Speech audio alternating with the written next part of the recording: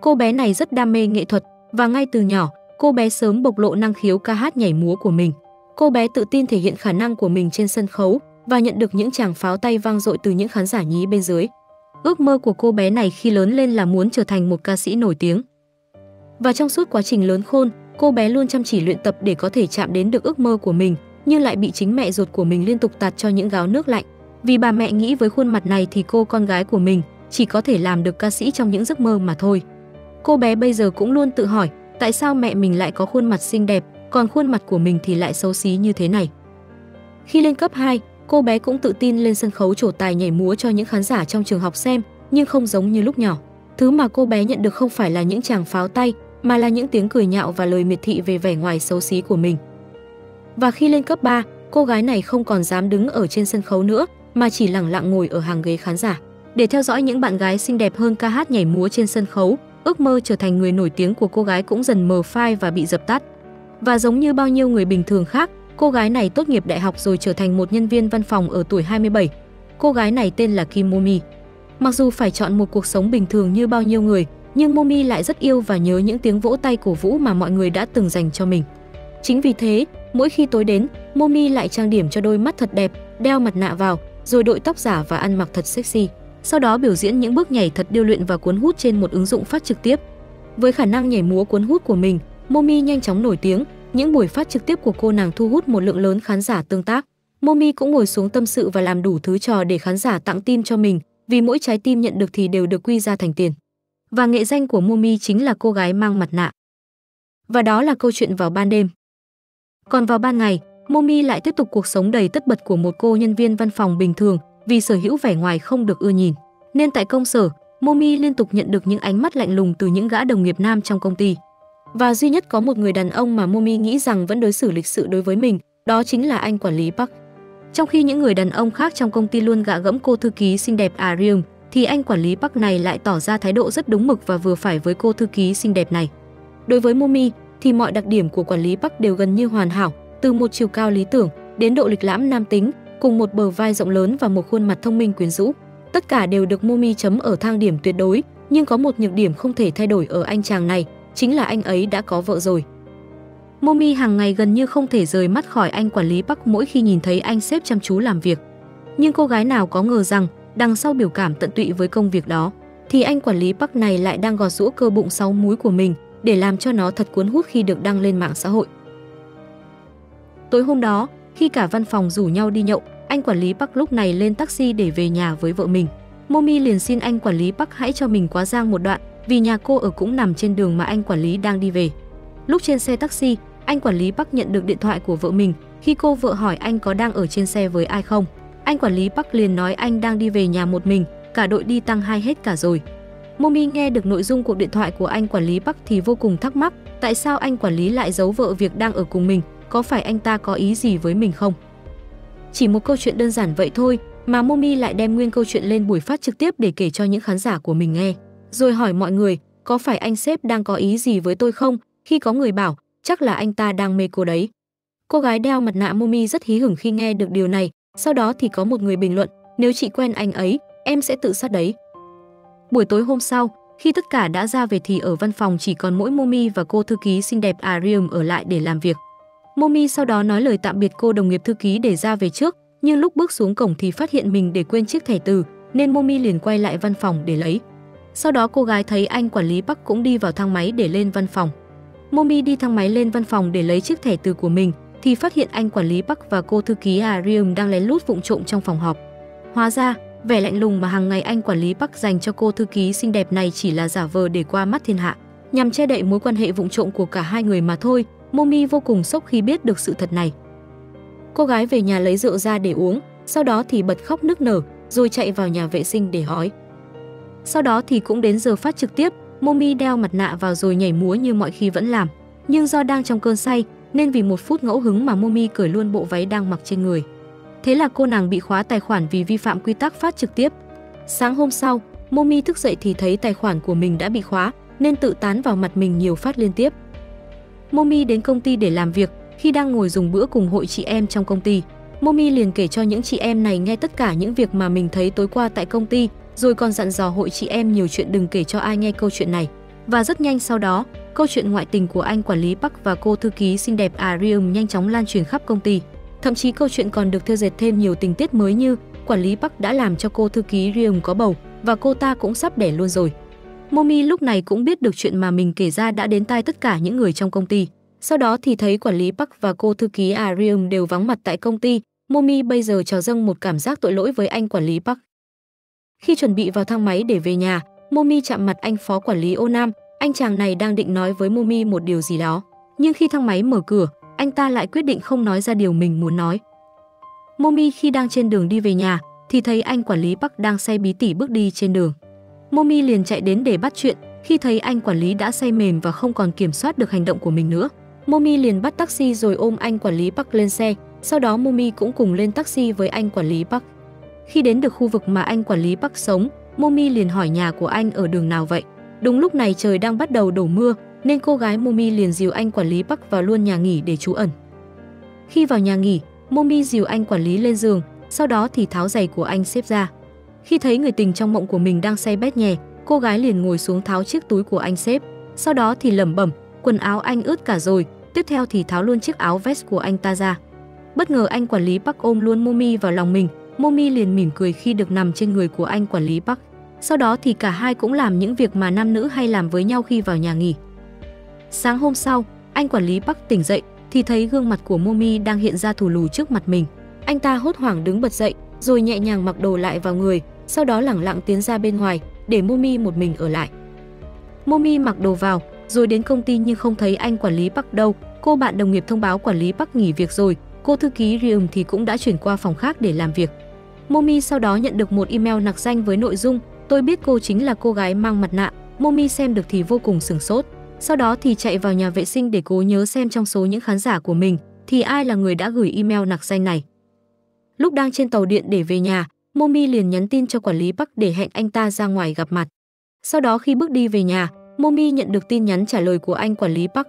Anh ta nói, tôi xin lỗi, tôi không nhớ gì về chuyện xảy ra tối qua. Momi đọc tin nhắn thì vô cùng thất vọng. Momi truy cập vào tài khoản đã bị khóa của mình trên ứng dụng phát trực tiếp. Sau đó thì thấy một khán giả trung thành của mình có nickname là Hoàng tử kiếp trước đang online, nên Momi liền bấm vào để trò chuyện với anh ta. Và người có nickname Hoàng tử kiếp trước này không ai khác, mà chính là anh phó quản lý ô nam đồng nghiệp của Momi. Anh chàng này là một người vô cùng lập dị và luôn thích ở một mình, vì ngay từ lúc nhỏ, ô nam luôn bị bạn bè bắt nạt và đem ra làm trò cười.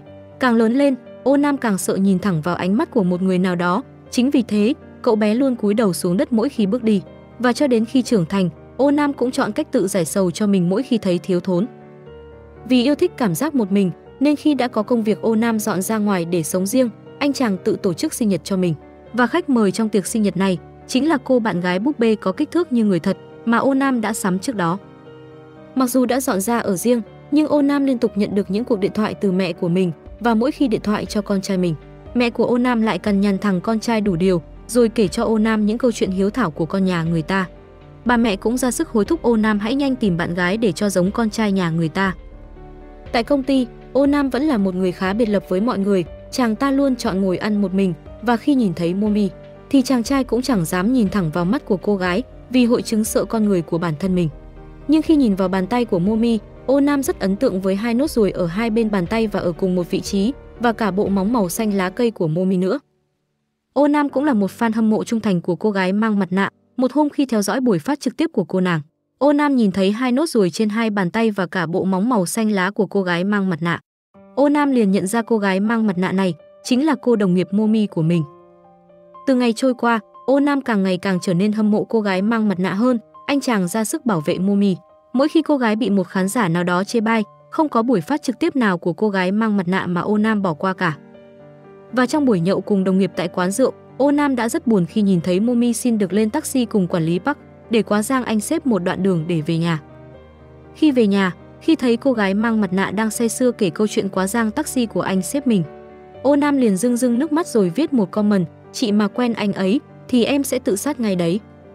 Khi ở công ty, Ô Nam đã rất ghen tị khi thấy được ánh mắt chiều mến của Momi dành cho anh quản lý Park.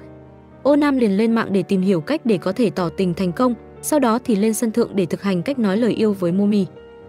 Và vào cái buổi tối hôm trước, khi cả văn phòng chỉ còn lại ba người, Ô Nam đã lẳng lặng bước đi về trước. để lại Momi và cô thư ký Riêng ở lại văn phòng. Ô Nam định xuống bên dưới để đứng chờ Momi và nói lời tỏ tình với cô gái. Nhưng khi Momi bước ra về, thì Ô Nam lại không nhìn thấy. Sau khi tất cả mọi người ở công ty đã ra về, Ô Nam thấy quản lý Bắc bước vào công ty, sau đó thì Momi cũng bước vào. Ô Nam nổi cơn ghen lên nên liền bám theo, nhưng lúc Ô Nam lên tới văn phòng thì Momi cũng đang ra về. Ô Nam tiến vào phòng họp thì thấy quản lý Bắc và cô thư ký Riêng đang chơi xếp hình ở bên trong. Ô Nam tươi cười hí hửng bước ra về, anh chàng vô cùng mừng rỡ khi biết tên quản lý Park là một tên đều cáng và chẳng quan tâm gì đến Momi của mình.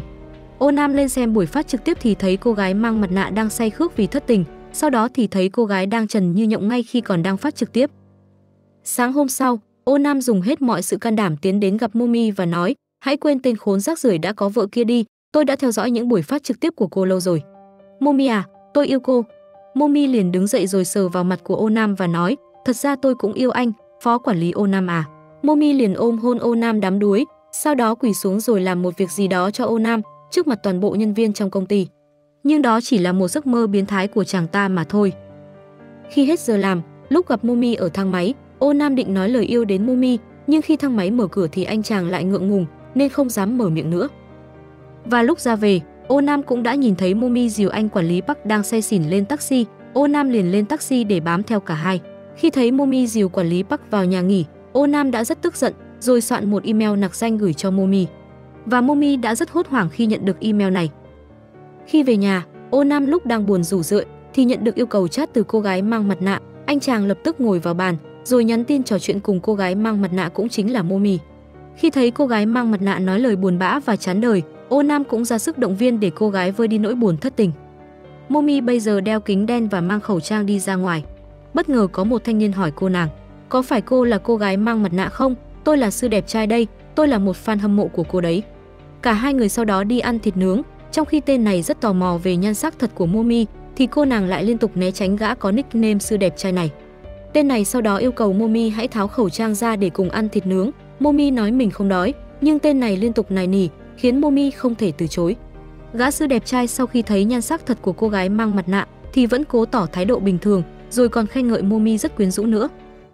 Tên này sau đó rủ Momi đến một quán bar, hắn ta khoe khoang mình đã từng ở Mỹ rất nhiều năm, rồi nói với Momi, nếu cô đến Mỹ chắc chắn cô sẽ nổi tiếng lắm đấy, vì đàn ông Mỹ rất thích gò má cao và mắt một mí.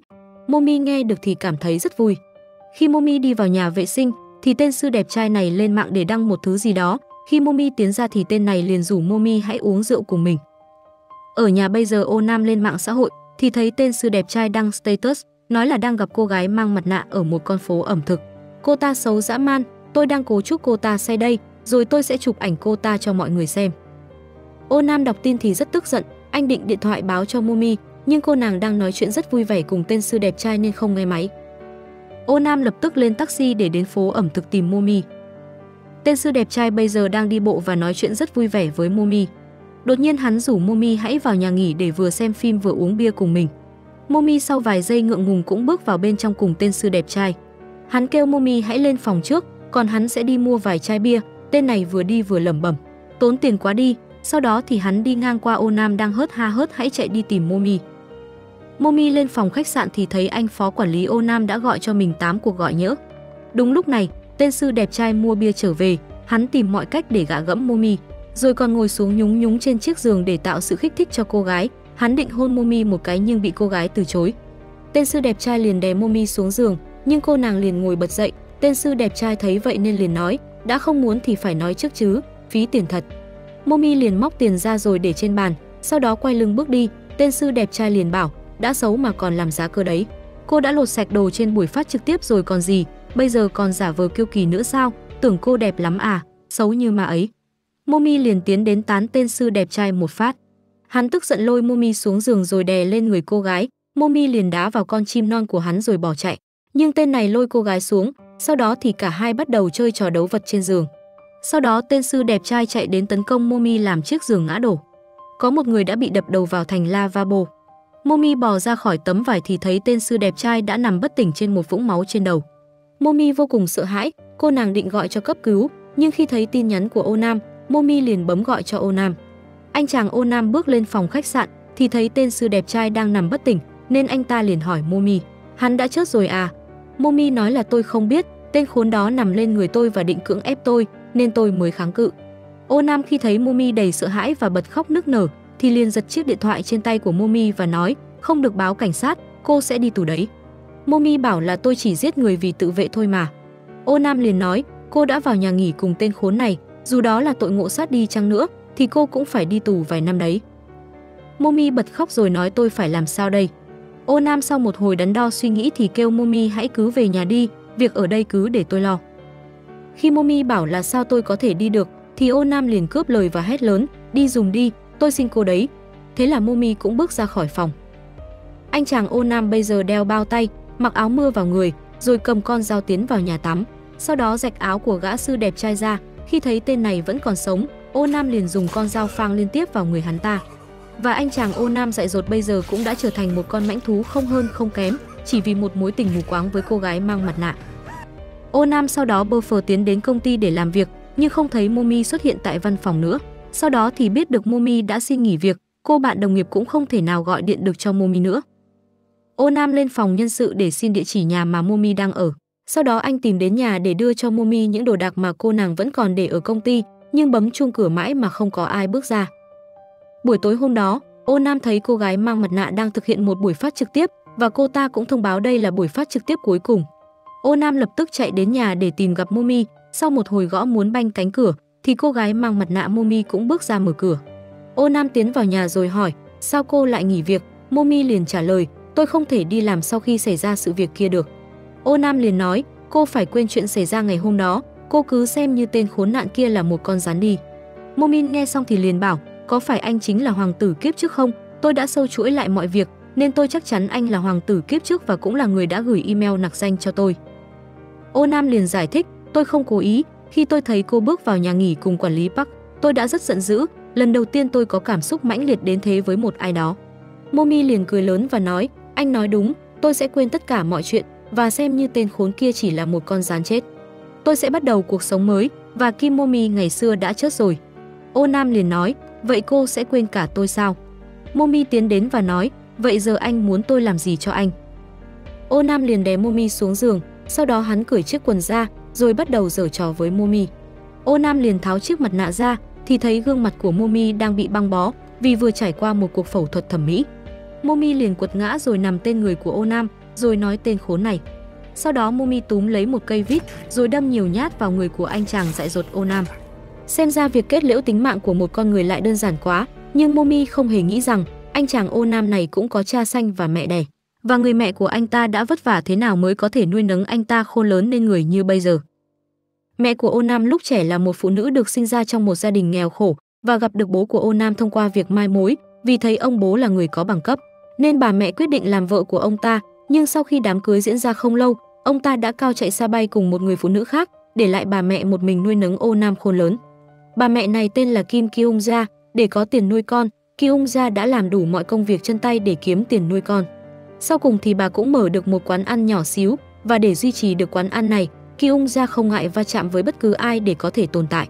Lúc nhỏ Ô Nam đi học thì liên tục bị bạn bè đánh, rồi còn bị dán kẹo cao su vào tóc nữa. Và mỗi lần cậu bé bị như vậy thì bà mẹ lại mang cậu bé đến gặp cha để cầu xin Chúa ban phước lành cho con trai mình. Và mỗi khi Ô Nam được những điểm số cao tại trường thì Kyung Ja luôn nghĩ chính Chúa đã ban phước lành cho Ô Nam. Và ngay từ nhỏ Ô Nam đã hình thành thói quen đọc những truyện tranh bậy bạ. Khi lớn lên, mặc dù không đậu được vào trường y, nhưng bà mẹ vẫn rất vui khi Ô Nam cũng thi đỗ vào một trường đại học tại Seoul. Và khi bắt đầu đi làm, thì Ô Nam không còn muốn sống chung với mẹ của mình nữa. Kyung Ja rất tức giận khi con trai của mình đòi ra ngoài sống riêng, nhưng rồi cũng phải chấp nhận yêu cầu của Ô Nam vì chỗ làm quá cách xa nhà. Thế là Kyung ra hàng ngày lủi thủi một mình trong căn nhà ở ngoại ô và khi lặn lội lên Seoul để thăm con trai mình, thì Ô Nam lại tỏ ra hững hờ, rồi bảo mẹ không cần mang đồ ăn lên cho con nữa đâu và bà mẹ Kyung ra cũng chưa bao giờ được bước chân vào căn nhà bí ẩn của đứa con trai của mình. Một thời gian sau đó, Kyung ra không còn liên lạc được với Ô Nam nữa, bà mẹ liền báo cảnh sát rồi cùng cảnh sát phá cửa để vào nhà của Ô Nam. Khi vào bên trong thì nghe một mùi thối bốc lên, sau đó thì bà mẹ giật bắn cả người khi thấy một con búp bê y như người thật bên trong nhà. Tiếp theo thì cảnh sát tìm thấy một cái xác đã bị phân hủy, Kyung ra tưởng đó là cái xác của con mình nên liền ngất xỉu. Sau đó hai anh cảnh sát đến bệnh viện và thông báo với Kyung ra cái xác đó không phải là của ô Nam, bà mẹ nghe được thì liền cảm ơn Chúa vì nghĩ con trai mình vẫn còn sống. Cảnh sát liền hỏi, bác có biết con trai bác có xích mích gì với ai không? Kyung ra liền nói, con trai tôi hòa thuận với tất cả mọi người. Có phải các anh đang nghi ngờ con tôi giết người phải không? Con trai tôi ở nhà cháu nó ngoan lắm, đến một con rồi nó còn không dám giết, cứ thấy máu là nó run như cầy sấy rồi. Bà mẹ Kyung ra sau đó đuổi cảnh sát ra về. Cảnh sát sau đó đến nhà của Momi để khám xét, vì cô gái này cũng mất tích cùng một lúc với ô nam. Bà chủ nhà nói hình như cô ta mới phẫu thuật thẩm mỹ xong, vì tôi thấy cô ta quấn đầy băng trắng quanh đầu. Bà chủ nhà cũng nói với cảnh sát cô ta chưa từng dắt đàn ông về nhà, chỉ thỉnh thoảng bật nhạc thật lớn rồi nhảy nhót thôi. Cảnh sát cũng đến nhà mẹ ruột của Momi để điều tra nhưng bà mẹ không mở cửa. Sau đó thì sự việc ngôi nhà của ô nam chứa nhiều đồ chơi của nam giới cũng được đưa lên bản tin thời sự phát sóng khắp cả nước. Cảnh sát cũng nhận xét ô nam là một người có nhận thức bất thường về chuyện nam nữ và có ham muốn khá biến thái.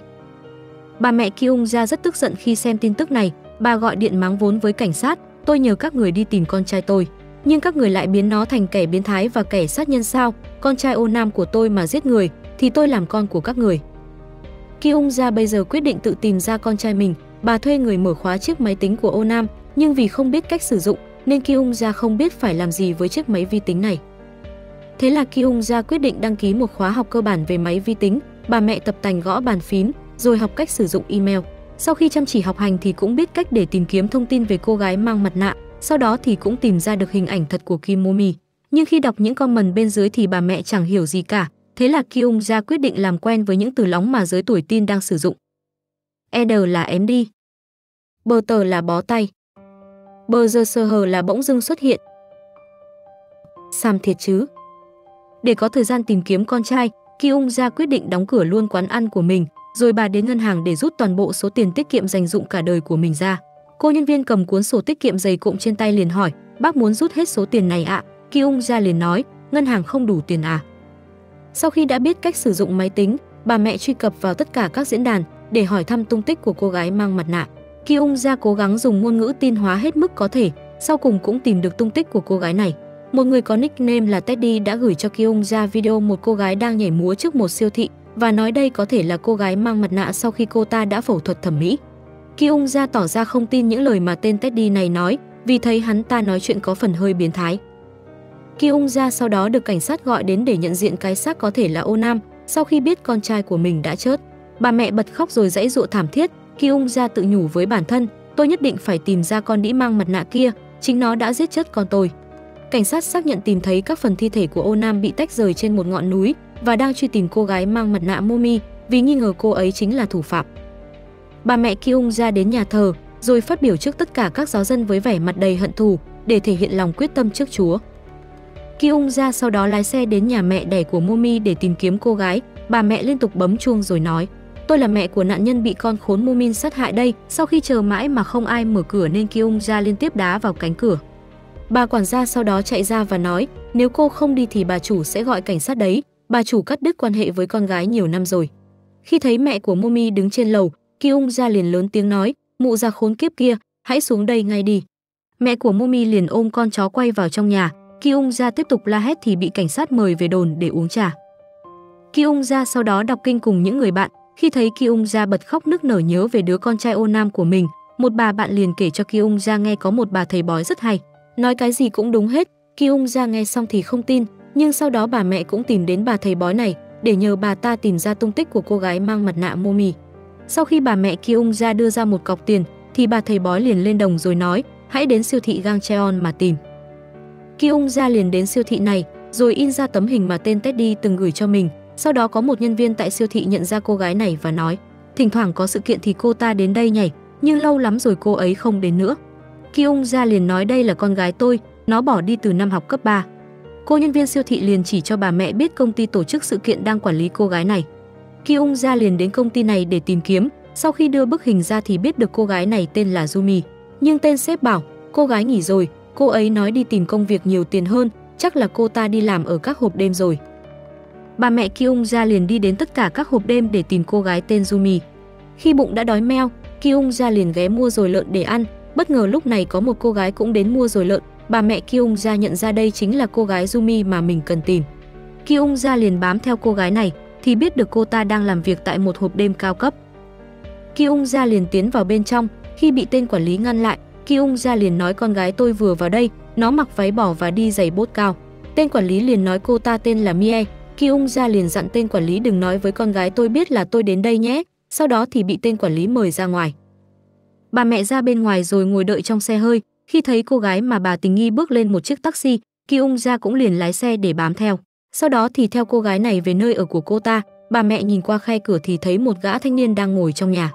Sáng hôm sau khi cô gái này bước ra khỏi nhà, Ki Ung ra liền bám theo đến một tiệm tóc.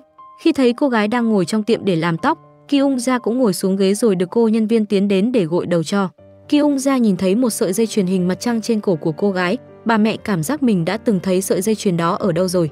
Sau khi được tạo cho một kiểu tóc mới, Ki Ung Ra liền lục tìm hình ảnh của cô gái mang mặt nạ trong chiếc máy tính, thì thấy cô gái kẻ thù của mình cũng đeo đúng sợi dây chuyền hình mặt trăng đó. Để có thể dễ dàng ra tay với cô gái kia, Ki Ung Ra liền xin việc để trở thành một tài xế taxi, sau đó bà ta lái chiếc xe taxi đến gặp một tên bán súng lậu để mua một cây súng. Bà mẹ không ngần ngại trả một cọc tiền để mua một cây súng tốt nhất và mạnh nhất. Buổi tối hôm đó, Kyung ra ngồi trên xe taxi chờ đợi bên ngoài hộp đêm. Bà mẹ từ chối mọi khách hàng lạ mặt muốn lên chiếc xe của mình, sau đó thì cô gái mà bà tình nghi cũng lên chiếc xe taxi này. Kyung ra liền lái chiếc xe đi, sau đó thì bà mẹ liên tục hỏi hang để bắt chuyện với cô gái phía sau khi dừng xe tại một cột đèn giao thông. Kyung ra giả vờ nhờ cô gái hãy nhặt chiếc điện thoại bị đánh rơi, sau đó bà mẹ liền dùng thiết bị kích điện trích vào cổ khiến cô gái ngất xỉu. Sau đó thì Kyung ra lái xe đến một nhà thờ bỏ hoang. Cô gái lúc tỉnh dậy thì thấy mình đang bị bắt trói và bịt miệng. Kyung ra cầm cây súng tiến đến chỗ cô gái rồi tháo bịt miệng ra. Cô gái liền hét thật lớn để cầu cứu. Bà mẹ Kyung ra cũng hét theo để chứng minh không một ai có thể nghe thấy tiếng kêu cứu tại nơi này. Khi cô gái hỏi bà là ai thế, thì Kyung ra liền túm tóc rồi tán nhiều phát vào mặt của cô gái. Cô gái bây giờ liền van xin bà mẹ Kyung ra hãy buông tha cho mình. Kyung ra liền lấy tấm hình đứa con trai ô nam của mình ra, cô gái liền hỏi anh ấy là ai vậy. Bà mẹ định giơ tay lên để đánh cô gái nhưng cô ta nói lần đầu tiên cháu thấy anh ấy đấy. Kyung ra liền hỏi tên thật của cô có phải làm Kim Momi không, cô gái liền nói tên cháu là Kim Chun E mà. Bà mẹ Kyung ra tỏ ra không tin những lời cô gái này nói, nên liền đeo mặt nạ vào cho cô gái, rồi liên tục đối chiếu so sánh với tấm hình của cô gái mang mặt nạ, sau đó thì kết luận chính là cô chứ không còn ai khác nữa. Kyung ra cầm súng lên rồi hỏi, cô đã giết con trai tôi thế này phải không? Cô gái liền nói, cháu thể cháu chưa từng gặp con bác. Bà mẹ liền chỉ vào sợi dây chuyền trên cổ cô gái rồi quả quyết, cô chính là cô gái mang mặt nạ. Cô gái lúc này liền nhìn vào bức hình, rồi cười thật lớn và nói, cháu nghĩ là cháu biết con khốn đó là ai rồi. Cô gái Chun E này bắt đầu kể cho Kyung ra câu chuyện về cuộc đời của mình. Chun E kể từ khi học cấp 3, mình là một cô gái rụt rè và nhút nhát. Trong lớp có một anh bạn đẹp trai tên là Bu Dong và chàng ta đang được đào tạo để trở thành một idol trong một nhóm nhạc nam. Chun E liền bị vẻ ngoài đẹp trai của anh chàng cuốn hút. Và khi Chun E làm thêm ở cửa hàng tiện lợi, cô gái nhìn thấy tên Bu Dong và bạn bè đến cửa hàng tiện lợi này để mua sắm và thứ bọn chúng mua là rượu và thuốc lá.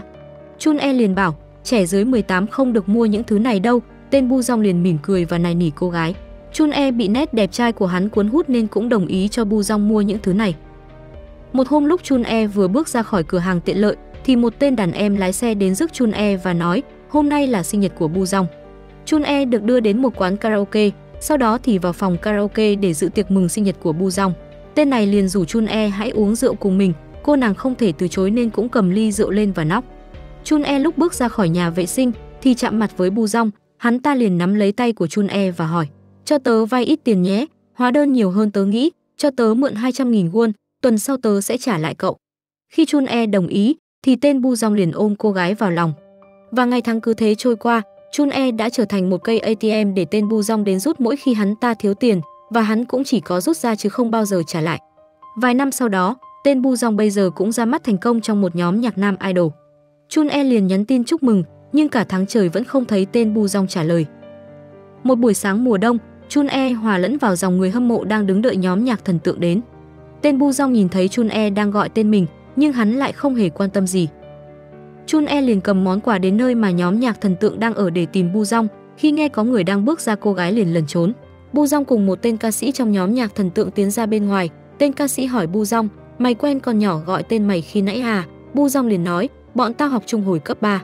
Con nhỏ đó là một trong số những ngân hàng của tao, khi nào cần tiền tao rút từ nó, thời đỉnh cao, tao có đến 10 cái ngân hàng như thế. Chun E nghe được nội dung cuộc trò chuyện thì chỉ biết bật khóc. Chun E lúc này trào dâng sự hận thù nên liền đăng tải những bức ảnh ăn chơi chát tán của tên ca sĩ thần tượng Bu Dong lên mạng. Những bài viết bóc phốt Bu Dong nhận được những lượt view khủng trên mạng, khiến cậu ta phải tổ chức họp báo để xin lỗi và Bu Dong cũng bị đuổi khỏi nhóm nhạc thần tượng ngay sau đó. Nhiều năm sau, Chun E cũng tiến hành phẫu thuật thẩm mỹ để trở nên xinh đẹp hơn. Và khi nhảy múa tại một sự kiện trước cửa siêu thị, Chun E nhìn thấy Bu Dong với bộ dạng bần cùng đang đi qua, nên cô gái lập tức bám theo hắn ta. Cô gái liền nói, tớ là Chun E đây, tên Bu Jong rất bất ngờ khi nhìn thấy diện mạo mới của Chun E. Sau đó tên Bu Jong dọn về sống chung luôn với Chun E. Hắn ta hàng ngày ở nhà chỉ việc ăn ngủ và chơi game, tên này không dám đi làm vì cái mắc cựu thành viên nhóm nhạc idol. Chun E cảm thấy có lỗi nên cũng ra sức cung phụng tên Bu Jong này. Để có thể cứu mang được hắn ta, Chun E đã phải chuyển sang làm ở hộp đêm để có thể kiếm được nhiều tiền hơn. Chun E hàng đêm trổ tài ca hát nhảy múa để mua vui cho những khách hàng nam, chẳng mấy chốc Chun E đã trở thành tiếp viên nổi nhất hộp đêm. Nghe kể đến đây, Kyung ra liền cắt ngang và nói, tao kêu mày kể về con khốn Momi kia, mà mày lại kể câu chuyện xàm xí đú gì vậy? Chun E liền nói, giờ cháu bắt đầu kể về con khốn kia đây. Chun E kể rằng, khoảng 2 tháng trước, con nhỏ đó bắt đầu xuất hiện tại hộp đêm để làm việc. Nhưng khi được cô chủ hộp đêm yêu cầu trình căn cước ra, thì con nhỏ này lại nói mình bị mất căn cước rồi. Con nhỏ này sau đó lấy nghệ danh là Arium để hành nghề. Với sắc đẹp và khả năng ca hát nhảy mua đầy mê hoặc, con nhỏ Arium được khách tại hộp đêm hết sức yêu thích. Arium cũng được bà chủ hộp đêm yêu ái hơn và những khách quen của Chun E từ từ đều chọn Arium để phục vụ họ. Chun E sau đó gặp riêng Arium và hỏi tại sao cô lại cướp hết tất cả những khách quen của tôi. Arium liền bảo muốn biết thì đi hỏi chị chủ ấy. Chun E nghe xong thì liền tán Arium một cái, Arium liền trả lại cho Chun E một cú tát. Cả hai bắt đầu túm lấy tóc nhau, rồi dằn co qua lại không ngừng nghỉ. Khi cô chủ họp đêm xuất hiện thì cả hai mới dừng tay. Cô chủ này liền nói với Chun E, do em làm không tốt sao lại đổ lỗi cho Arium, kẻ thất bại luôn thích đổ lỗi cho người khác. Arium bây giờ giả vờ nhận tất cả lỗi về mình, Chun E nhìn bộ dạng giả tạo của cô gái thì càng thấy chướng mắt hơn.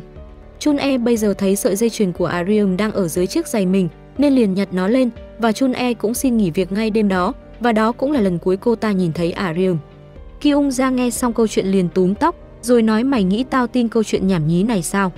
Chun E liền bảo cháu không phải là người cô tìm đâu, ngực của con nhỏ đó là hàng thật, còn của cháu toàn silicon thôi. Kyung ra nghe xong thì liền bảo cô mà lừa tôi là tôi sẽ nuốt sống cô đó. Chun E liền nói, cháu cũng muốn tìm để đấm con nhỏ đó như bác thôi. Chun E đi đến hộp đêm mà mình từng làm việc để hỏi thăm xem Momi đang ở đâu. Chun E bước ra xe rồi nói với bà mẹ Kyung ra, cô ta đã nghỉ việc ở đây rồi.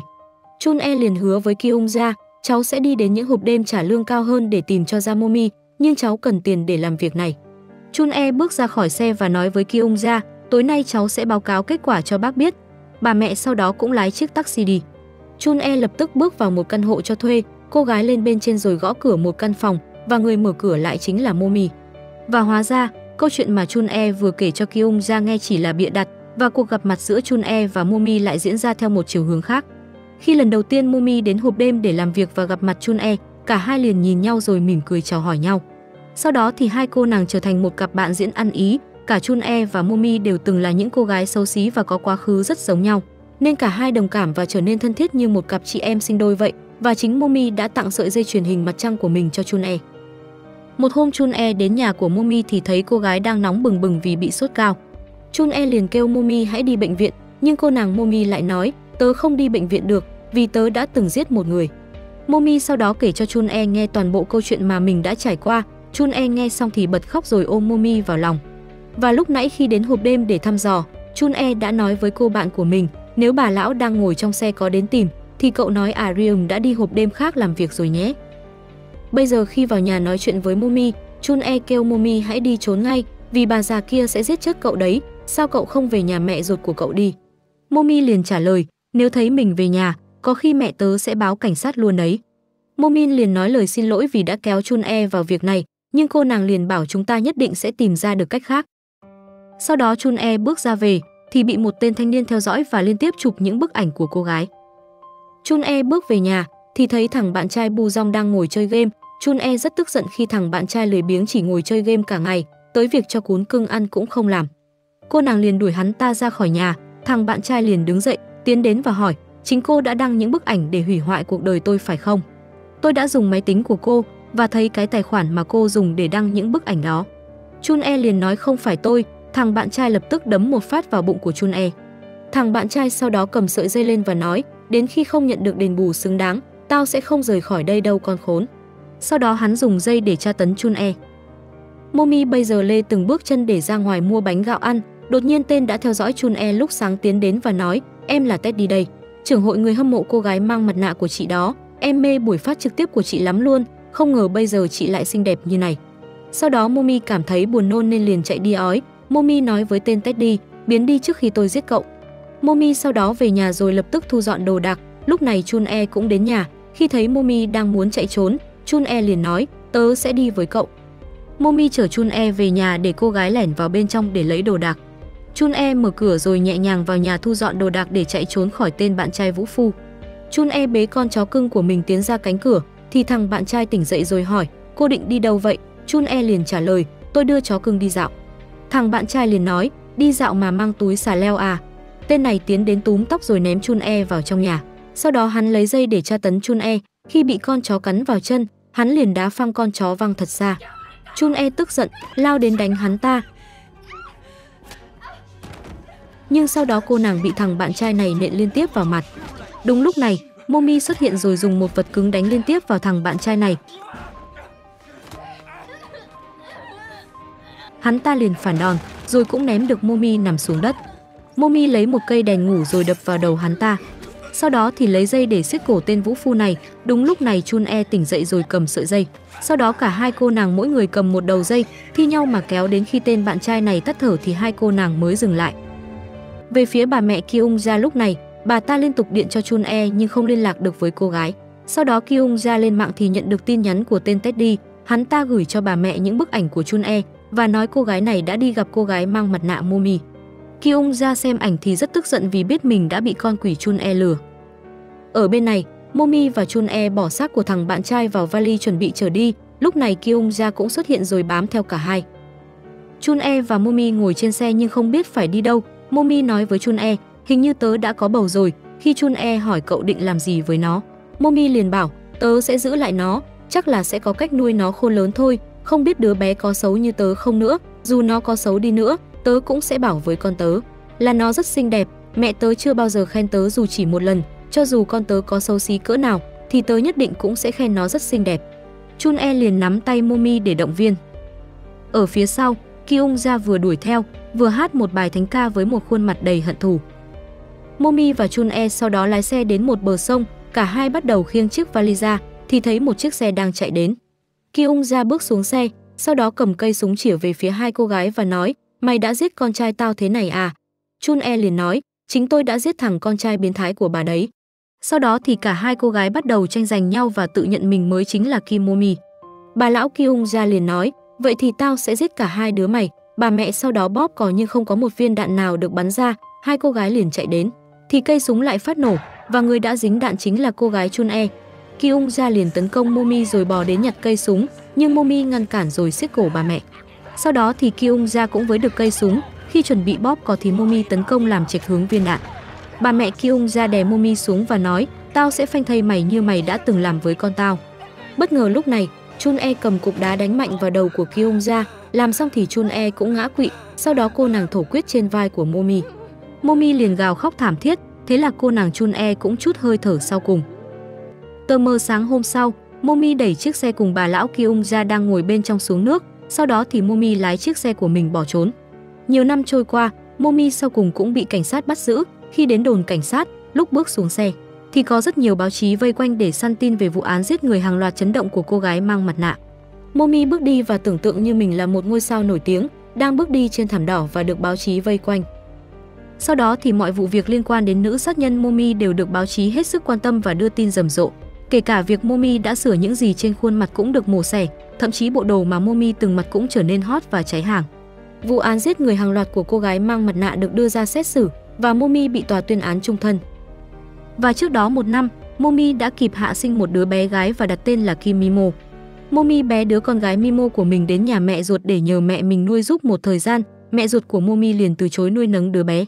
Momi liên tục van xin và nói, con cần làm hộ chiếu giả và kiếm tiền để trốn ra nước ngoài, khi nào làm xong, con sẽ quay lại đón con bé đi. Thế là bà mẹ cũng đồng ý nuôi dưỡng đứa bé gái, nhưng nhiều năm trôi qua, Momi vẫn không quay lại và đứa bé gái Mimo cũng dần lớn lên trong sự dạy dỗ nghiêm khắc của bà ngoại.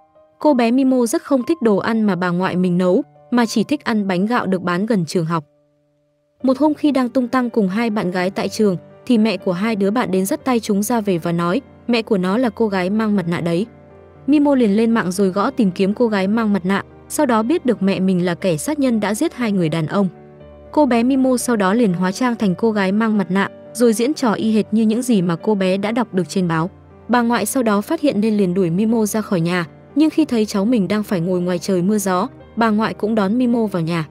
Mimo sau đó đi học thì liên tục bị bạn bè trêu chọc là con của một con quái vật. Mimo suy đoán người đã loan tin này cho cả trường biết chính là con bạn thân của mình, Mimo liền đến tìm rồi đấm con bạn thân một phát vào mặt. Bà ngoại sau đó quyết định dọn nhà đi nơi khác và chuyển trường luôn cho con bé. Nhưng tin tức Mimo đánh bạn ở trường học cũ và là con gái của kẻ sát nhân hàng loạt nhanh chóng được lan truyền đến ngôi trường mới, thế là Mimo lại phải chuyển đến một ngôi trường khác.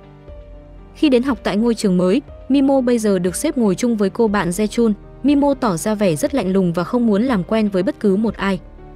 Một hôm khi nhìn thấy cô bạn Jechun bị một nhóm bạn gái đầu gấu trong trường bắt nạt, Mimo định làm ngơ, nhưng khi thấy con nhỏ cầm đầu đang muốn kiếm chuyện với mình, Mimo liền mắng bọn chúng là lũ điên, sau đó thì nhặt một mảnh kính vỡ cầm trên tay và nói, cứ vào đây, tao giết hết. Con nhỏ cầm đầu thấy máu chảy ra từ cánh tay của Mimo, nên liền kêu cả bọn bỏ chạy. Cô bạn Jechun sau đó chạy đến lau khô vết thương cho Mimo. Sau hôm đó thì Jechun cứ bám lấy Mimo như hình với bóng, để tạo sự đáng thương trong mắt của Mimo. Jechun bắt đầu theo dệt những câu chuyện về gia đình mình, cô bé nói bố tớ là một người rất vũ phu và thường xuyên đánh đập mẹ con tớ. Trong một lần khi cả hai chạy vào một ngôi nhà bỏ hoang để trú mưa, Jechun bây giờ liên tục rên rỉ về bố mẹ mình ở nhà và nói với Mimo, tớ rất ghét bố mẹ mình ở nhà. Mimo nghe Jechun nói thì cảm thấy rất đồng cảm với cô bạn, nên quyết định kể cho Jechun nghe về câu chuyện bí mật của cuộc đời mình và dặn dò với Jechun tuyệt đối không được kể chuyện này với bất cứ một ai. Mimo nói tớ không biết bố tớ là ai, mẹ của tớ thì đang ngồi tù, tớ đang sống với bà ngoại, nhưng bà lại chẳng bao giờ kể về mẹ cho tớ nghe. Jechun nghe xong câu chuyện thì liền hôn vào má của Mimo một cái và nói, cậu là người rất đặc biệt đấy. Kể từ hôm đó trở đi, Mimo và Jechun trở nên thân thiết và dính với nhau như Sam. Trong một lần, khi cả hai cùng chạy đến một hầm chui bỏ hoang để trốn tiết học, Mimo kể cho Jechun nghe, mẹ mình bị đi tù vì tội giết người. Jechun lúc này tiếp tục thưa dệt câu chuyện gia đình mình, cô bé nói hôm qua bố tớ lại quậy và đập bể hết mọi chén dĩa trong nhà, bây giờ tớ chán về nhà lắm. Mimo liền rủ chúng ta hãy cùng bỏ nhà đi nhé, nhưng nếu bỏ đi thì chúng ta sẽ cần nhiều tiền làm đấy. Buổi tối hôm đó, Jechun về nhà rồi lên mạng bắt đầu tìm kiếm. Sau một hồi bấm bấm gõ gõ thì biết được mẹ của Mimo chính là nữ sát nhân cô gái mang mặt nạ và cô bạn Mimo của mình cũng từng đánh bạn ở trường học cũ. Sáng hôm sau, khi đang đúc em gái của mình ăn, Jechun phát hiện chiếc xe tập đi của em gái mình vẫn còn hoạt động rất tốt, nên cô bé liền cuỗn luôn chiếc xe này, rồi đem đi bán để lấy một ít tiền, nhưng số tiền mà cả Mimo và Jechun có được vẫn còn quá ít, nên chưa thể đi trốn cùng nhau được. Jechun sau đó chặn đầu một em bé gái đang đi trên đường, rồi giao bán tập ảnh chứa chữ ký của những ca sĩ nổi tiếng mà mình đã sưu tầm được, nhưng bé gái này chỉ có một đồng cắt lẻ. Nhóm bạn từng bắt nạt Jechun ở trường học tiến đến, rồi mỉa mai hành động dụ dỗ học sinh tiểu học của Jechun, sau đó thì nện cho Jechun một trận. Một con nhỏ bạn học sau đó tiến ra và nhận mình đã mách lẽo cho đám bắt nạt kia biết chuyện khi bị con nhỏ này túm tóc. Jechun liền nói, mày đang nguy hiểm đến tính mạng đấy, mày biết Mimo là con gái của ai không? Mimo bây giờ đang ngồi trong một quán cà phê, cô bé đi đến ăn cắp một chiếc laptop rồi đi thật nhanh ra ngoài, nhưng sau đó lại bị phát hiện. Bà ngoại của Mimo tức tốc đến đồn cảnh sát, rồi tát Mimo một phát đau điếng. Bà ngoại nói với Mimo, cút ra khỏi nhà ngay. Con bé liền nói, dù sao cháu cũng không có ý định quay về. Sau đó Mimo bỏ chạy ra bên ngoài, cô bé vừa chạy vừa khóc. Mimo điện thoại cho Jechun để xin ở nhờ đêm nay, nhưng Jechun lại nói, bố tớ đang quậy banh nhà đây, tối nay cậu về nhà đi đã, khi nào sẵn sàng thì mình đi trốn nhé.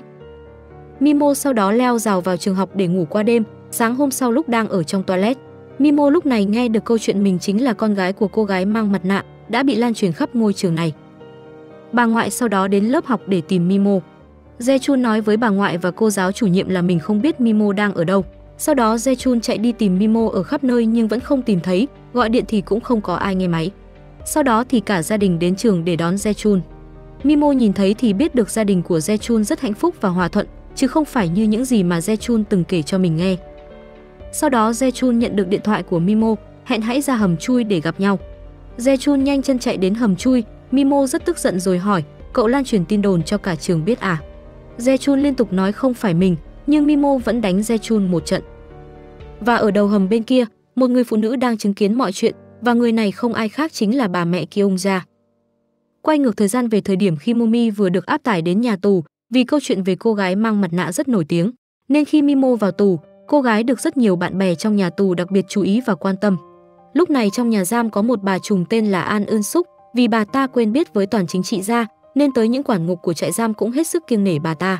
Khi thấy Momi đang nhìn mình, bà trùm này lập tức kêu cô gái đến để hỏi chuyện. Bà trùm hỏi cô là cô gái mang mặt nạ phải không? Sau đó thì liền tát Momi một cái đau thấu trời. Bà trùm nói với Momi, nhìn cô y hệt như con chó cái đã cám dỗ chồng tôi, nên đừng có mà lẳng vảng trước mặt tôi, nếu không muốn chết. Bà trùm này quyền lực tới mức thao túng cả luật lệ của nhà tù này, bà ta quy định những ai vào đây vì tội ngoại tình sẽ phải nhịn đói 3 ngày đầu. Momi thấy một nữ tù nhân bị bỏ đói vì vi phạm luật lệ này, nên liền chia sẻ cho cô ta một ít thức ăn và ngay lập tức sau đó, Momi liền bị đàn em của bà trùm này trừng phạt. Bọn chúng dí đầu Momi vào máy giặt, cô gái liền quay lại, nhìn thẳng vào mặt ả đàn em của bà trùm, rồi hút đầu thật mạnh khiến ả ta té ngửa. Momi liên tục lao tới câu xé rồi cắn vào người ả đàn em này. Sau đó thì Momi bị giam giữ riêng trong một phòng giam tách biệt. 15 ngày sau, Momi lại được thả về phòng giam tập thể. Sáng hôm sau Momi lập tức đi tìm rồi đánh ả đàn em kia một trận. Mặc cho đồng bọn của ả ta liên tục tấn công, nhưng Momi vẫn lao tới như một con thú dữ. Thế là Momi lại tiếp tục bị dẫn đến phòng biệt giam để ở một mình. Sau khi được thả ra khỏi phòng biệt giam, Momi lại tiếp tục tấn công rồi nện ả đàn em một trận như từ nữa. Và chuyện như thế cứ tiếp tục diễn ra, Momi bị nhốt rồi được thả ra, rồi lại tiếp tục nện ả đàn em những trận như đòn. Bà Trùng yêu cầu quản ngục hãy tống Momi vào phòng biệt giam mãi mãi đi, nhưng bà quản ngục trưởng nói không thể làm thế được vì sắp có đợt thanh tra trại giam rồi. Và trong lần phóng thích tiếp theo, ả đàn em khi nhìn thấy Momi thì run như cầy sấy, rồi cong đít bỏ chạy, Momi điên cuồng đuổi theo ả ta chạy lòng vòng. Sau đó thì ả đàn em bị té ngã, Momi định nện ả ta một trận nữa, nhưng bà trùng của nhà giam xuất hiện rồi yêu cầu Momi. Hãy để cho nhau yên đi, được chứ? Momi đứng dậy rồi hiên ngang bước đi, sự điên loạn của cô nàng cũng khiến nhiều người phải nề sợ. Rất nhiều năm trôi qua và đã đến năm 2023, Momi bây giờ cũng đã già đi đôi chút, với mái tóc tém mới lạ. Một hôm Momi bất ngờ nhận được một lá thư từ bên ngoài, và đây cũng là lá thư đầu tiên mà Momi nhận được sau mười mấy năm ở tù. Và bên trong lại là một bài báo với tiêu đề Bạo lực có di truyền không? Ở phía sau có một dòng chữ, đến lượt mày hiểu cảm giác con mày bị hủy hoại rồi đó, con khốn. Momi đọc đi đọc lại bài báo này, khi nhìn thấy đứa bé gái bị che cặp mắt trong bài báo, Momi biết được con gái mình sắp bị hại. Momi lên tiếng nhờ vả một bà chị bạn tù hãy giúp mình vượt ngục. Sáng hôm sau, khi đang may đồ, Momi giấu một cuộn vải vào phía sau lưng, sau đó xin phép quản ngục được đi toilet. Khi vào nhà vệ sinh, Momi liền mở cửa sổ, rồi thả sợi dây bằng vải xuống dưới đất, sau đó tiến ra bên ngoài để trồng cây cùng hội bạn tù. Momi ra hiệu cho cô chị bạn tù hãy hành động, bà chị này giả vờ bị ong chích để thu hút sự chú ý của những quản ngục. Momi liền giấu một cái sẻng nhỏ vào tay áo, rồi xin được vào kho lấy thêm cây con. Momi chạy ra phía sau, nhặt sợi dây vải lên rồi buộc vào cái sẻng vừa lấy được, sau đó cố gắng ném sợi dây lên trên bờ tường. Sau khi đã móc được sợi dây cố định lên bờ tường, Momi nắm lấy sợi dây rồi leo lên bên trên, nhưng sợi dây đột nhiên bị đứt khiến cô nàng rơi xuống đất, rồi những quản giáo trại giam cũng chạy đến để bắt giữ Momi ở lại. Bà quản ngục trưởng ở trại giam liền ra lệnh biệt giam Momi một tháng, sau đó đưa vào cho cô ta một quyển kinh thánh. Vì bà quản ngục nghĩ là Momi đã bị sa tăng dụ dỗ nên mới tìm cách vượt ngục. Từng ngày cứ thế trôi qua, một hôm bà quản ngục trưởng đến thăm Momi thì thấy cô nàng đang quỳ lại để cầu nguyện và gục đầu xuống quyển kinh thánh. Momi được thả về phòng giam tập thể sau hơn một tháng trong phòng biệt giam. Momi bây giờ cũng rạng rỡ và thánh thiện hơn, cô nói với bà chị cùng phòng, em đã trở thành con của Chúa, vì đích thân Chúa đã nói chuyện với em. Sau đó Momi tự tin đứng trước tất cả mọi người để giao giảng những triết lý mà cô đã lĩnh hội được khi nghiên cứu quyển kinh thánh. Một hôm Momi nhìn thấy bà trùng ở trại giam đang ngồi khóc thúc thít một mình, cô chị cùng phòng kể rằng con gái cô ta cần ghép thận, nhưng cô ta không cho thận được. Momi không chút chần chừ liền đi đến và nói với bà trùng, con gái chị có nhóm máu gì, em muốn hiến thận cho con gái chị. Bà trùng nghe được thì rất mừng rỡ, rồi nói nhóm máu AB. Momi liền cười và nói, ơn Chúa, em cũng nhóm máu AB đây. Sau đó, bà trùng mừng rỡ chạy đến báo tin với Momi, có kết quả kiểm tra rồi, con gái chị có thể ghép thận của em. Bà trùng vừa nói vừa cảm ơn Momi díu dít. Sau đó một nhóm tình nguyện viên được đưa đến trại giam để thực hiện một buổi giáo dục nhân cách cho tù nhân ở trại giam. Trong số họ có một người phụ nữ tóc ngắn, bà này gọi tên Momi và nói, tôi là mẹ của ô Nam đây, cô đã nhận được thư của tôi chưa? Không thấy cô hồi âm tôi buồn lắm đấy. Và hóa ra vào cái đêm mà bà bị Momi đẩy xuống nước, Kyung ra đã vùng vẫy rồi lấy được cây súng. sau đó phá vỡ kính xe, rồi bơi lên trên mặt nước và bà mẹ cũng đã thoát chết trong gang tấc. Cảnh sát sau đó vớt được chiếc xe và tìm thấy một thi thể bị phân mảnh trong chiếc xe, sau đó thì cảnh sát ra sức truy tìm ai là chủ nhân của chiếc xe này. Để tránh sự truy lùng của cảnh sát, bà mẹ Kyung Ra này liền phẫu thuật thẩm mỹ để khuôn mặt của mình giống như Momi. Sau đó bà bỏ tiền ra để làm một căn cước giả với cái tên Ju Nam, cũng là tên của con trai bà. Kyung Ra đã đi khắp các hộp đêm để tìm kiếm Momi, sau đó xem bản tin thời sự thì biết cô gái mang mặt nạ kẻ thù của mình đã bị cảnh sát bắt giữ. Thế nhưng nỗi hận thù trong lòng bà mẹ không hề vơi đi, nên bà ta chút nỗi hận lên đầu đứa con gái Kimimo của Momi. Chính vì thế bà ta đã mở một gian hàng bán bánh gạo gần trường tiểu học để tìm cách tiếp cận cô bé, và cô bé Mimo cũng rất yêu mến bà lão bán bánh gạo này. Kyung Ra còn giả vờ đi đến nhà thờ để tìm cách tiếp cận bà ngoại của Mimo, và khi nhìn thấy người bà này, nỗi hận thù đối với Momi của Kyung Ra lại càng dâng cao. Sau đó thì chính Kyung Ra cũng cố tình tiết lộ cho phụ huynh trong trường biết con bé Kim Mimo chính là con gái của cô gái mang mặt nạ, là nữ sát nhân giết người hàng loạt. Khi Mimo khóc lóc vì bị bạn bè cô lập, thì chính bà lão bán bánh gạo này đã xúi con bé, nếu ai trêu chọc cháu, cháu phải trừng trị thật mạnh tay, chính vì vậy mà Mimo mới đánh đứa bạn thân của mình, vì nghi ngờ nó tung tin đồn cho cả trường biết. Và khi cô bé Mimo chuyển trường đến nơi khác, Kyung Ra cũng dụ dỗ con bé hãy viết địa chỉ chỗ ở mới cho bà, rồi bà nhất định sẽ đến thăm cháu. Và cũng chính Kyung Ra đã điện thoại cho phóng viên để báo tin con gái của nữ sát nhân cô gái mang mặt nạ đã đánh bạn ở trường học. Và khi cô bé Jechun bị con bạn cùng lớp đánh đập, thì con bé này không hề tiết lộ việc Mimo chính là con gái của cô gái mang mặt nạ, mà chính bà lão Kyung Ra đã bước ra và nói với con nhỏ nữ sinh cấp 2 này, xuất thân thật sự của Kim Mimo, khiến cô bé Jechun bị Mimo hiểu lầm. Và cô bé Mimo sau khi bỏ nhà đi, cũng đã đến nhà của bà bán bánh gạo Kyung Ra này để tìm trốn dung thân. Quay lại nhà tù bây giờ, Kyung Ra nói nhỏ vào tai của Momi, mày phải hiểu cảm giác đau đớn tột cùng của tao khi con mày biến mất. Sau đó thì Kyung Ra tươi cười rời đi, Momi chạy đến tấn công thì bị quản giáo trại giam bắt giữ, Momi la hét trong vô vọng. Kyung Ra lái xe về lại căn nhà nhỏ nằm ngay dưới chân núi của mình, Momi vui mừng chạy ra đón bà lão bán bánh gạo mà mình rất yêu mến. Cả hai bà cháu sau đó vào nhà nói chuyện hết sức vui vẻ và đầy giả tạo. Mimo nhìn vào tấm hình và hỏi, đây là con trai của bà nhỉ? Kyung Ra liền nói, giờ nó không còn ở đây nữa, nó đi thật xa rồi. Ở trong tù, Momi kể hết mọi chuyện cho bà Trùm ở trại giam nghe. Bà Trùm hứa sẽ cử người tìm kiếm con gái và mẹ của Momi để báo tin cho họ được biết. Sau đó quản giáo trại giam gửi cho Momi một mảnh giấy và có ghi một số điện thoại bên trong. Momi liền sử dụng điện thoại trong trại giam để điện đến số điện thoại này. Bà ngoại của Mimo đến đồn cảnh sát để báo mất tích và nhờ cảnh sát tìm kiếm đứa cháu gái của mình. Sau đó bà ra ngoài thì nhận được điện thoại của đứa cháu gái Mimo. Con bé nói với bà ngoại, bà đừng tìm cháu nữa, cũng đừng báo cảnh sát nhé, bà đã từng nói sống với cháu rất phiền vì cháu làm bà nhớ đến người phụ nữ đó còn gì. Sau đó thì Mimo vội vã cúp máy, rồi tắt nguồn luôn điện thoại của mình. Đúng lúc này bà ngoại lại nhận được một cuộc điện thoại nữa, và lần này là đứa con gái Momi của mình. Momi hỏi mẹ mình, Mimo vẫn ổn chứ mẹ? Có bà già nào lẳng vảng quanh Mimo của con không ạ? Bà mẹ liền trả lời, nếu con thực sự lo cho Mimo thì đừng gọi cho mẹ nữa. Sau đó bà mẹ cúp máy. Momi bây giờ cũng hết giờ để gọi điện, nhưng cô ta vẫn cố gọi một cuộc điện thoại nữa, sau đó thì bị quản giáo khống chế vì lì lợm. Bà Trùng nói với Momi, rất khó tìm ra bà già kia vì bà ta đã đổi tên rồi. Nhưng chị tìm được số điện thoại ngôi trường mà con gái em theo học, em cứ gọi thẳng đến đó mà hỏi, chị sẽ xin quản giáo cho em được dùng điện thoại một lần nữa. Momi sau đó điện thoại đến trường cấp 2 của con gái mình, rồi nói muốn gặp nữ sinh tên là Kim Mimo.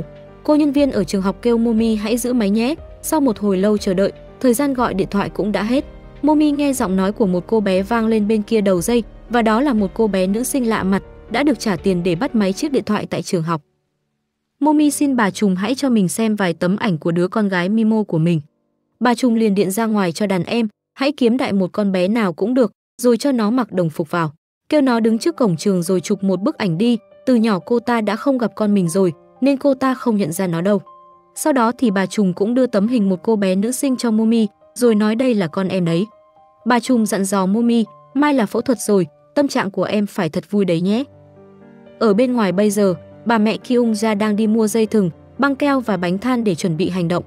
Bà ta lái xe về nhà, lúc vào nhà tìm kiếm mãi mà không thấy Mimo đâu, tưởng là con bé đã bỏ trốn. Nhưng bất ngờ Mimo cầm chiếc bánh kem trên tay rồi tiến ra hát mừng sinh nhật cho bà lão Kyung ra. Mimo nói cháu đã thấy ngày sinh trên thẻ căn cước của bà.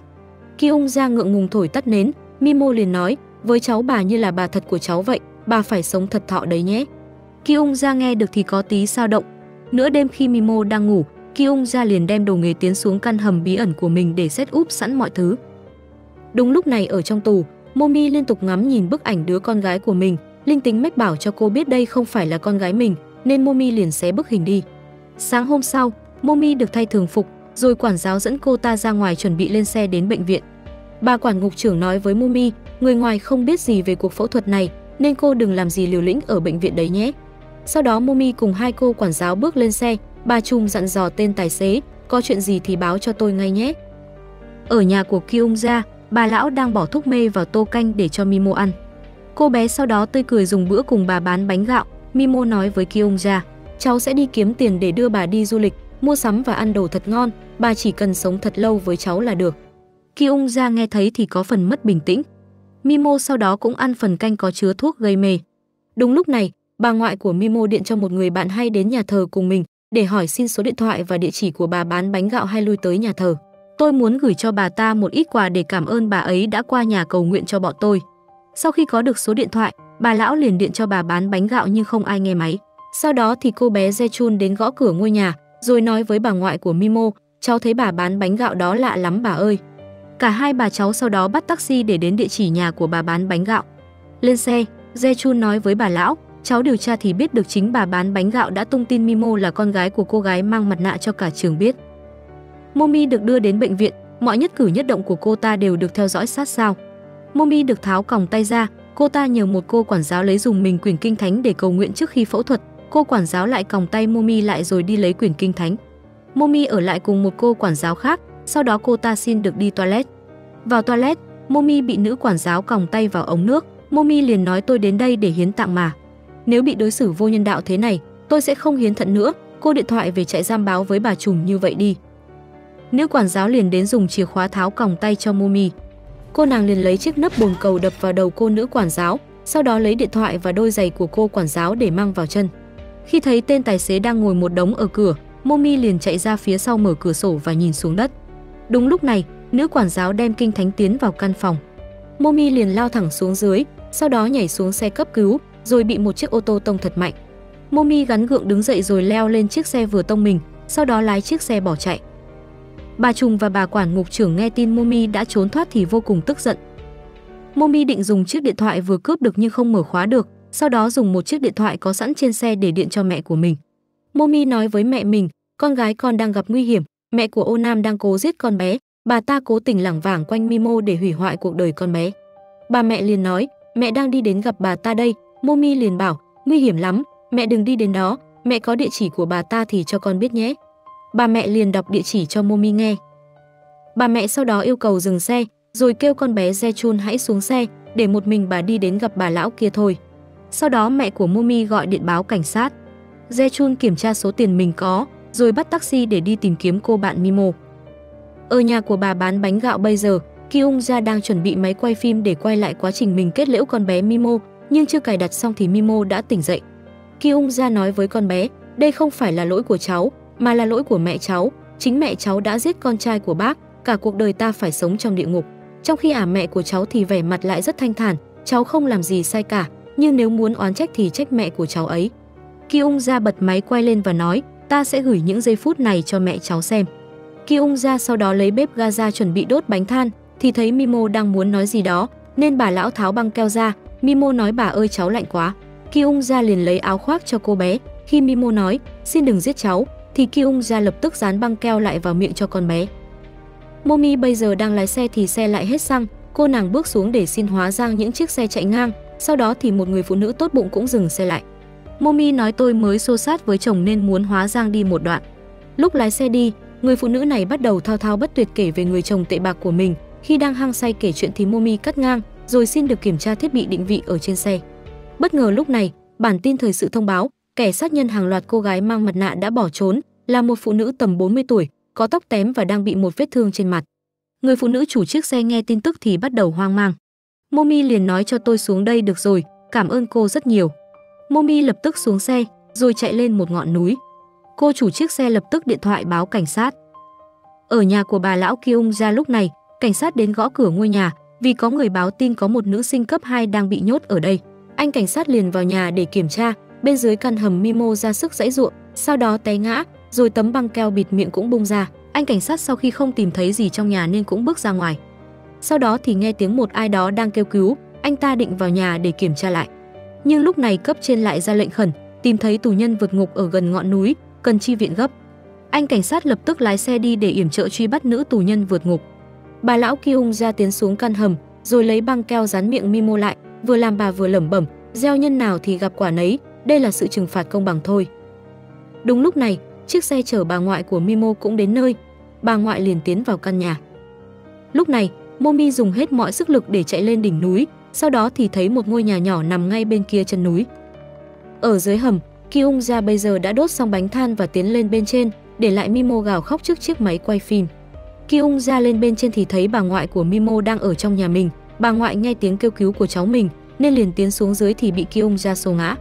Đúng lúc này cô bé Jechun cũng đến nơi, bà ngoại liền ôm thật chặt cái chân của Kyung ra để Jechun chạy xuống hầm cứu Mimo.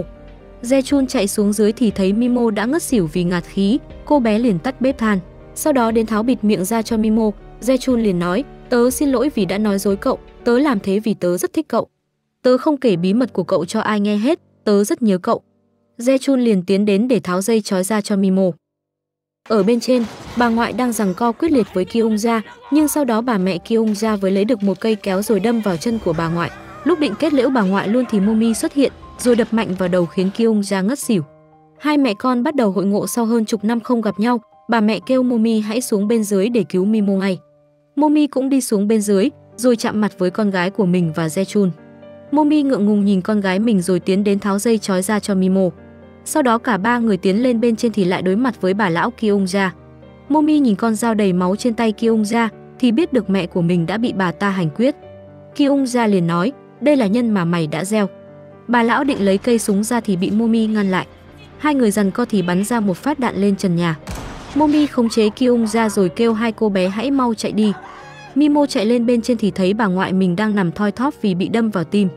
Mimo liền khóc lóc rồi nói, cháu xin lỗi bà. Bà ngoại nắm tay Mimo rồi nói, bà xin lỗi cháu, sau đó thì bà ngoại cũng nhắm mắt xuôi tay.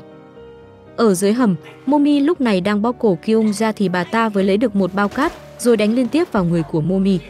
Kyung ra nói với Momi, khi con tao chết thì cuộc đời tao xem như kết thúc rồi. Kyung ra định dùng súng để kết thúc mọi chuyện nhưng lại bị Momi dùng cây đánh liên tiếp vào người. Kyung ra dùng gậy cứng đánh vào đầu của Momi. Cả hai bây giờ đã mệt nhừ, sau đó thì bà lão Kyung ra lao vào quật ngã kẻ thù truyền kiếp của mình. Nhưng sau đó, người bước lên được bên trên lại chính là Momi. Ba người bước ra bên ngoài thì thấy rất nhiều xe cảnh sát đã đến ngôi nhà này. Cảnh sát liền chĩa súng vào nữ tù binh vượt ngục Kim Momi. Momi tiến đến nhưng không dám nhìn thẳng vào mặt con gái mình, sau đó thì giơ tay lên đầu hàng. Bất ngờ bà lão Kyung ra tiến ra, cảnh sát yêu cầu Kyung ra hãy bỏ vũ khí xuống. Kyung ra liền cầm cây súng chĩa về phía Momi, nhưng sau đó Kyung Ja liền chuyển hướng sang bắn cô bé Mimo. Momi liền ôm con gái mình và bà lão Kyung Ja đã bị cảnh sát nã một phát đạn vào chính giữa chán. Momi cũng đỡ được một phát đạn cho con gái mình. Momi nhìn con gái mình rồi mỉm cười, sau đó thì gục ngã trong vòng tay của Mimo. Mimo cũng ôm thật chặt mẹ mình rồi bật khóc. Cô bé Mimo sau đó tiếp tục được đến trường và ngày càng thân thiết với cô bạn Jechun hơn. Cả hai đèo nhau đi học rất tình cờm và bố mẹ của Jechun cũng trở thành người giám hộ của Mimo. Mimo bây giờ cũng không còn tồn tại cảm giác, lúc nào cũng căm ghét người khác nữa. Cô bé bây giờ mở chiếc hộp chứa đồ kỷ niệm của mẹ của mình ra, sau đó thì tìm thấy một đoạn băng, khi cho đoạn băng vào đầu đĩa thì thấy những hình ảnh cô bé Kimomi đang học mầm non. Trổ tai nhảy múa vô cùng điêu luyện và được tự do thể hiện những điều mình yêu thích mà không sợ ai chê cười hay đánh giá. Khi MC hỏi cô bé Kimomi, ước mơ của cháu là gì vậy? Và rất bất ngờ khi cô bé Momi lại trả lời, ước mơ của cháu là trở thành người được mọi người yêu mến ạ. Mimo xem đoạn video thì bắt đầu rơi nước mắt. Bộ phim đến đây cũng đã hết, phim theo thể loại kinh dị bí ẩn. Tuy có phần hơi rùng rợn gây ám ảnh nhưng lại phản ảnh nhiều vấn đề tồn tại trong xã hội, nhất là sự phân biệt đối xử dựa trên ngoại hình. Bộ phim khắc họa những định kiến mà những người sở hữu vẻ ngoài đi ngược với chuẩn sắc đẹp của xã hội phải chịu đựng. Bên cạnh đó, bộ phim cũng khắc họa thành công về tình mẫu tử thiêng liêng. Mặc dù bị khoảng cách thế hệ chi phối khiến con cái lớn lên càng xa rời bố mẹ của mình hơn nhưng tình mẹ thương con là không thể đong đếm được. Nếu yêu thích nội dung trên các bạn hãy nhấn like và subscribe để ủng hộ nấm mốc review nhé. Hẹn gặp các bạn trong những video sau.